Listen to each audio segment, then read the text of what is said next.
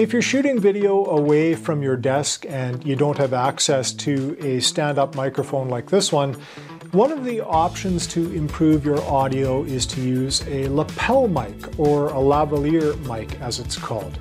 I'm going to show you a couple of options that are both affordable and will give you some freedom and flexibility around your shoot. Stay tuned.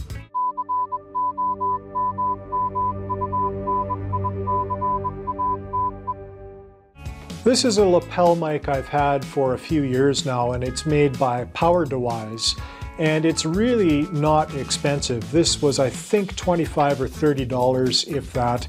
And the reason it's called a lapel mic is, well, because it just clips onto your lapel like so. And you should position it somewhere between your chin and your chest to get the best audio quality.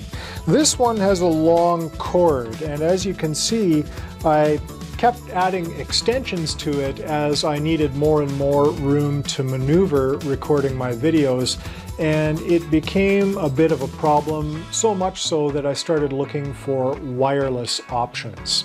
And the wireless option that I chose is the one I'm using now, and it's this one on this side, on this lapel, made by Rode, and it's the Rode Wireless Go system.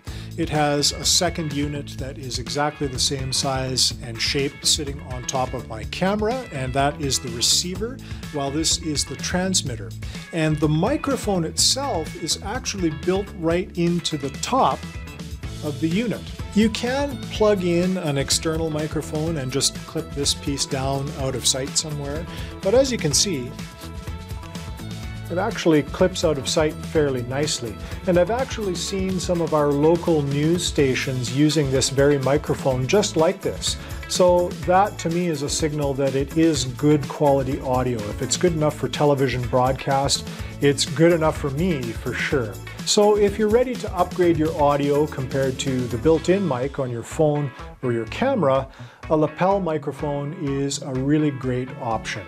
I'll include links in the description below to both this inexpensive PowerDewise wired lapel mic and the Rode Wireless Go that I'm using actually to record this video with. Both are terrific options. I wish you all the best in your video creation and I'll talk to you soon.